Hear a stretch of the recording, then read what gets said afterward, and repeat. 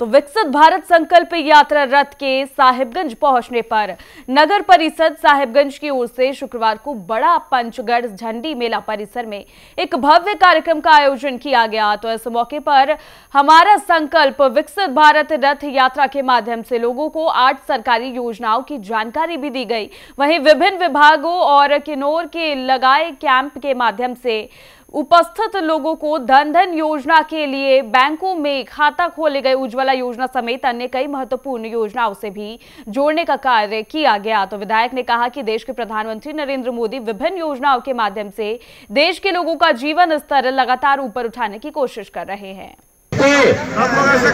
जिनको नहीं मिला वो हाथ उठाइएगा। भारत संकल्प यात्रा का प्रारंभ 15 नवंबर झारखंड के खूंटी से देश के यशस्वी प्रधानमंत्री आदरणीय श्री नरेंद्र मोदी जी ने किया था।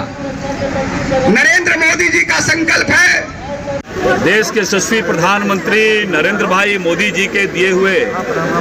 संकल्प के साथ मोदी की गारंटी वाली रथ साहेबगंज नगर के इस झंडा मैदान में पहुँची है। और इस मोदी की गारंटी वाली रथ के माध्यम से आदरणीय प्रधानमंत्री जी ने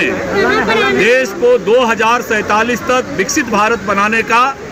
एक संकल्प दिया है और वो सं, उन संकल्पों के पूर्ति को लेकर के अनेक योजनाएँ जिसके माध्यम से सामान्य नागरिकगण का जीवन में बदलाव आ सकता है उन योजनाओं के माध्यम से अभी हमने देखा है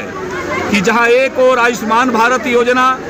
दूसरी ओर यहाँ उज्ज्वला योजना के कैंप लगे हैं उज्ज्वला योजना के माध्यम से उसी प्रकार से मुद्रा योजना, उसी प्रकार से मोदी की गारंटी वाली योजना के माध्यम से यहाँ पीएम स्वनिधि योजना जो हमारे स्ट्रीट वेंडर के लिए लगा हुआ है, पीएम विश्वकर्मा योजना का रजिस्ट्रेशन हो रहा है, उसी प्रकार से मेडिकल कैंप के माध्यम से लोगों का यहाँ पर चिकित्सीय इलाज हो रहा है। तो ऐसी अनेक